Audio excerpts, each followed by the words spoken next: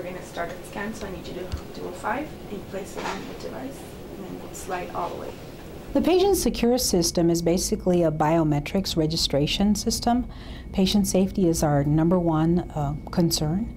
And what this system allows us to do is scan a patient's uh, palm uh, so that this way there is a vascular print that is only um, particular to their identification. And so it is uh, positively identifying that patient at time of registration. In our environment or in our community, as with a lot of communities, we may have uh, multiple patients with the same name and potentially the same date of birth. So, what PatientSecure does for us is positively identify uh, that patient. Go ahead and uh, so, as an example, we may have a patient that comes in uh, whose name is Carlos Martinez. When we look in our registration database, we may see that there are 20 Carlos Martinez's. So then we will ask the patient, well, what is your date of birth? And that, of course, would reduce the number of Carlos Martinez's, but let's say we end up having three Mr. Carlos Martinez's with the same date of birth.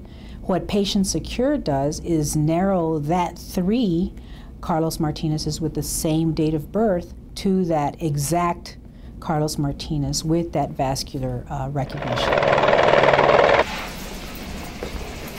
But of course, in our environment as an emergency department and a level one trauma center in our region, the main benefit that we see for our patients that do come through the emergency department and our trauma center is if in fact they are enrolled in PatientSecure, when they come in for services, um, all we would need to do is to scan them into the system. If they've been enrolled, then again, the benefit, of course, is that they would all automatically come up as a positive identifier so that this way um, our nursing staff would already have access to their medical record. You know, we are the first in the region to deploy PatientSecure.